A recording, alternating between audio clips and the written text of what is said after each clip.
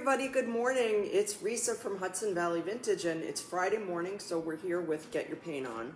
And I'm working from home today. So this is a resin pour. I did this a few days ago. You might have seen um, the post. And I did this with Fusion Mineral Paint. So we're going to be using Fusion Mineral Paint's pouring resin. They came out with this in late 2019, and I haven't had a lot of opportunity to play with it. So um, I've become really interested in resin pours lately. So I wanted to do something with this. And what I did was I followed Fusion's tutorial exactly to see if it worked for us. And that's a lot of what we're going to be doing um, on Get Your Paint On on Friday mornings is following these tutorials that are out there and seeing do they work well? Do we can we do it exactly how they say? Is it as easy as they say? All those things. So we're using this. We're using um, Fusion's Cell Enhancer, and that's what you get the nice little bubbles with. And Fusion Mineral Paint, of course. I'm using Casement and a couple of other colors. So this is what I did a couple days ago and I like it. I'm pretty happy with it. This was my first one.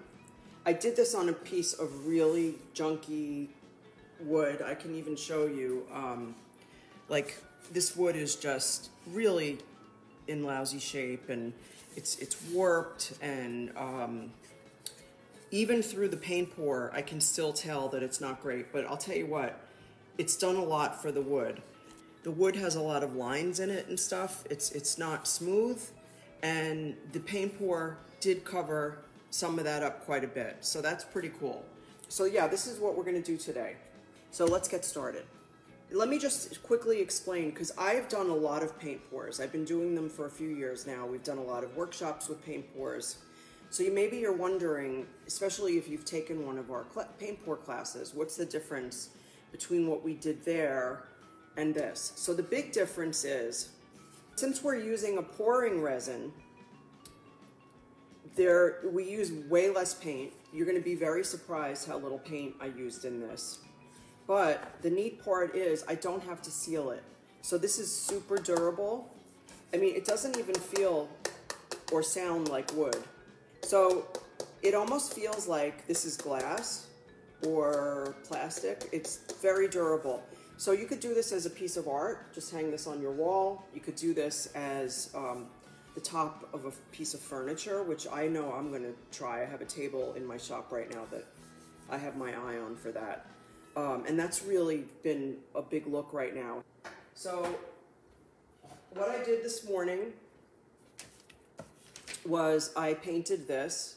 This is a 12 inch round. I got this at Lowe's. Okay, so I painted my surface. And the reason I like to paint my surface, oh, there's a couple of reasons. I feel like the paint moves better when your surface is painted. Now, there are a couple of exceptions to that. One of them being tile. So you wouldn't paint the tile first because tile is very slick and the paint is gonna move really well on tile. Wood, however, is a little rougher. So I like to give it sort of a primer. So I've used casement, which is gonna be one of my colors. So what I like to do is choose my lightest color and paint my surface first with that. So with a pouring resin like this, you need to know how much to use. So I found this morning, I was I just Googled it and I came across this really great calculator that actually calculates how much pouring resin you need to use on your project. So there's a couple different ways you can look it up. If you have a rectangular or square piece, you put in the, the length and the width in inches. It also asks you for depth, so that's very important. It asks you what the thickness of your piece is. Now, it's a little bit different if you're doing an epoxy pour on a surface like this. So our amazing, wonderful, talented daughter-in-law made us these um, coasters for the holidays. Aren't they gorgeous? I just love them. So if you look at the thickness of this, it's pretty thick. It looks like it's about a half inch thick. So that's where you would put the thickness. So you're gonna need more resin if you're doing um, a resin pour like this. That's not what we're doing. We're doing it on a wood surface, so we don't need half an inch thick. So if they ask you what the thickness is, which they will, because that's determinant in how much you're gonna be using, you wanna keep that in mind. So you're not gonna put half an inch, you're not putting half an inch thick. Okay, so I, I put, I went into this website and I put in that I have, I'm doing round, so they offer that as an option. And I put in 12 inches because this is 12 inches round. I got this at Lowe's. For my thickness, um, I put in an eighth of an inch and I said, they said, they said I need 7.83 ounces of medium. So we're gonna actually mix up our medium right now and I'll show you how to do that. So I'm using the same colors that Fusion use in their blog. This is Renfrew Blue. This is Heirloom. Casement.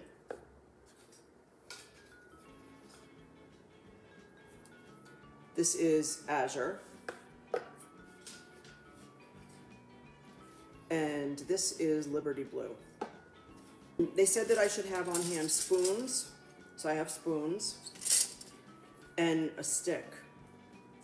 And I have, so I have a stick. Okay, so I've got everything. But after I watched the blog, I saw that I didn't really need the spoons because I'm gonna be using so, so little paint. So I need cups and I get these little shot glasses. They're perfect. You can get Dixie cups. Those are good too. We're going to start with the pouring resin.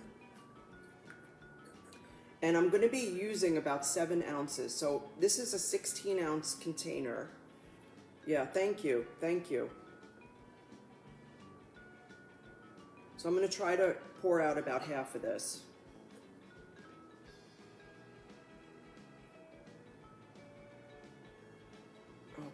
So that's about half of where we were. All right, let's go.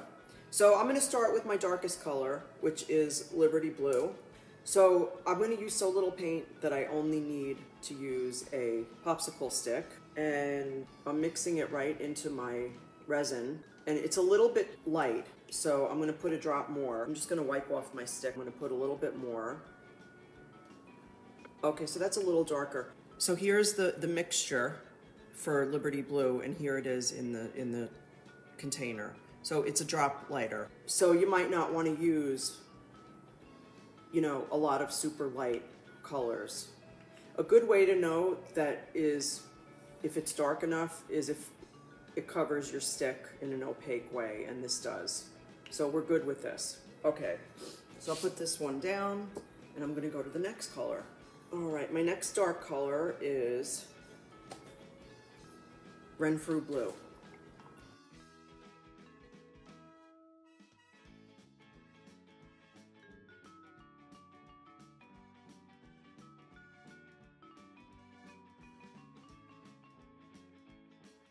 That's the Renfrew Blue. So this is the Azure, which is like a nice bright turquoisey color.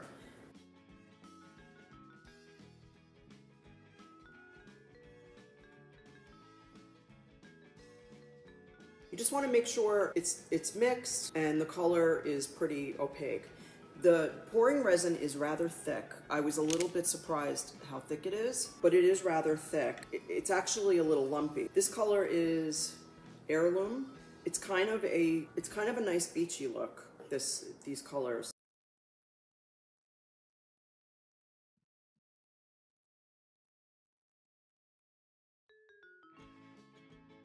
I feel like if you don't use white, it gets a little muddy. So here's my last one. I mixed in a drop more of the resin and I'm gonna mix in my casement, which is my white.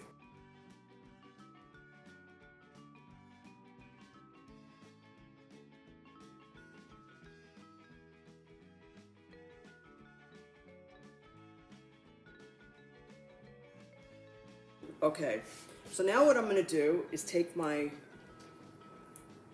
cell enhancer, which I believe to be silicone, and it says on here, used to increase cell formations in acrylic color pour applications. Recommend one to two drops for 30 millimeters of prepared colors. All right, I'm guessing that I'm gonna put like two drops in each of these. So I'm gonna take my cell enhancer, take my cup, and put a couple of drops. So I'm putting two drops in each.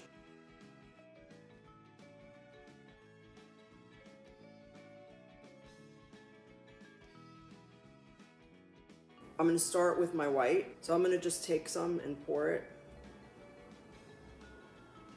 in a couple of spots. I don't really have like a rhyme or reason with this.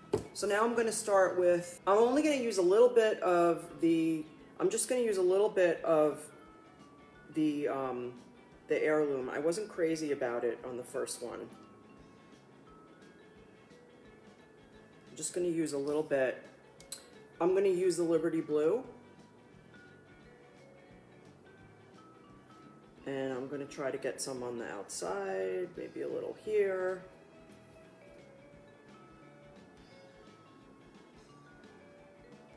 Okay, and maybe a little bit in the middle. This is like playing in the ultimate way, am I right? Okay, this is the Renfrew Blue. And this is Azure, which also showed up a lot, so I may not put as much on, but we'll see. I'm only using some of each of these right now, and I can go, I can add more as I go. Looks like I'm making a crazy pizza, right? If you've ever done a paint pour with us before, we've done what's called a dirty pour. So a dirty pour is when you mix all your colors and then take a larger cup and layer them. You pour them in in layers and then you just turn it over on your piece and lift it up. Now, now is the time if you're going to wear gloves that you want to put them on.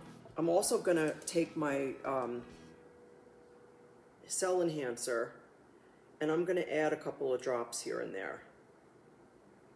I didn't do this last time and I want to see if this makes a difference. I like to do these things so that I'll make a mistake so you don't have to. That's what I like to do. So now we're just going to start moving.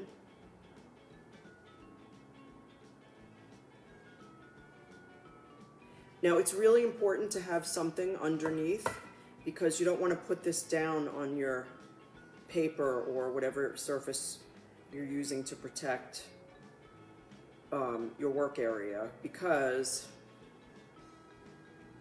it'll get, all right, we don't have enough paint, but you can start seeing the design.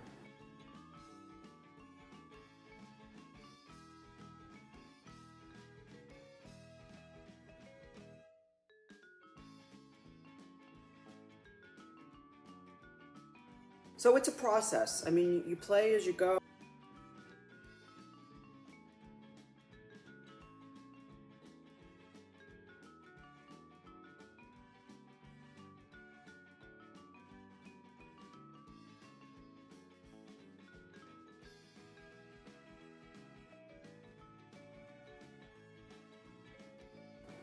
paint because once it stops moving, clearly I need more paint. Okay, so I'm to start adding some more paint where I need it.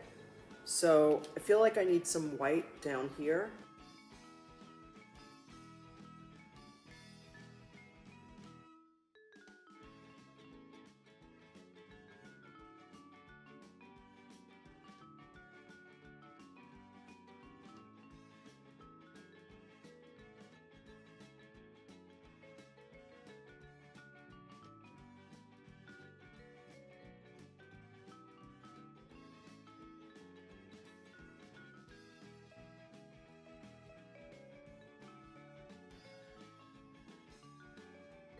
So here's where another way that your little popsicle sticks come into play because I'm gonna add some of the paint that fell off, which is actually very pretty.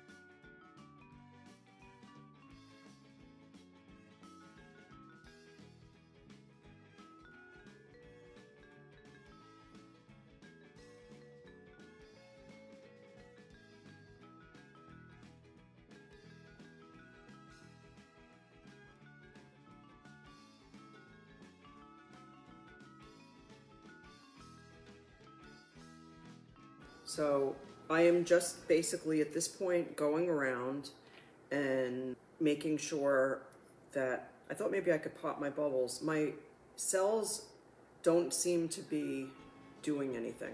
I'm gonna run and get a blow dryer.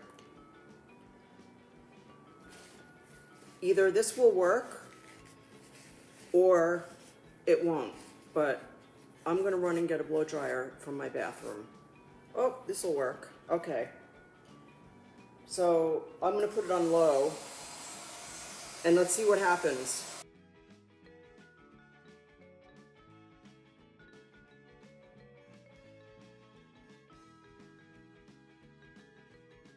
All right, I gotta move this a little bit closer. Let's see. I'll add more bubbles first. Maybe I need to use the high, uh, higher, I'll put up some more cells on.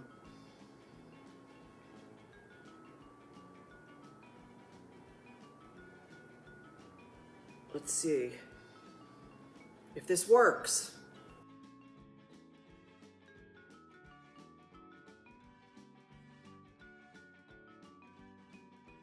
I'll tell you what, guys, I don't think it's doing anything for this. Oh, actually it is. Okay. So let me turn it around a little bit more.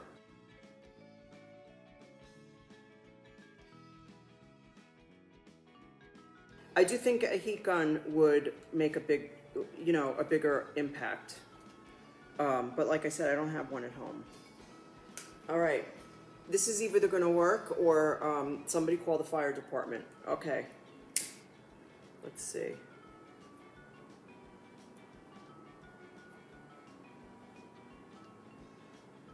I don't know.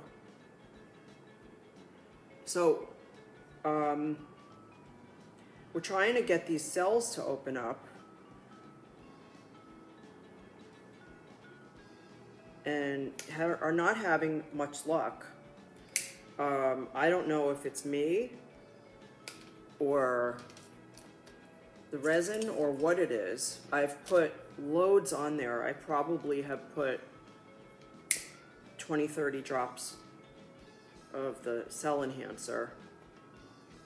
So that is not, um, yeah, that's not doing anything. Move it around quickly. All right.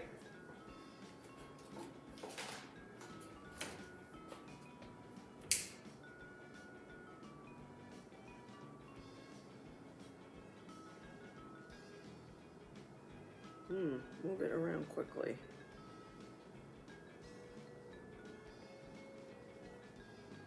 Nope. All right, it's beautiful anyway, so, so here's what I think, because that's what a lot of this is. We're trying things, we're gonna see what works and see what doesn't work. So I think this is a great product based on the one I did earlier this week, um, it's very, it, it, it, seems very, very, very durable. So for whether, whether you're doing it on a piece of artwork or a piece of furniture, you know, I don't feel like the cell, the cell enhancer really did much for us on this. I'm gonna read up some more and find out if there are any tricks to it that we missed. Um, we tried heat, we tried a blow dryer, we tried a lighter. Maybe I didn't do it right, but it did not work. So that's our finished product. It's got a lot going on in it. I don't want to turn it over completely because it is still moving. I think that's about it. See you soon, guys. Thank you so much. Thanks for coming to my home.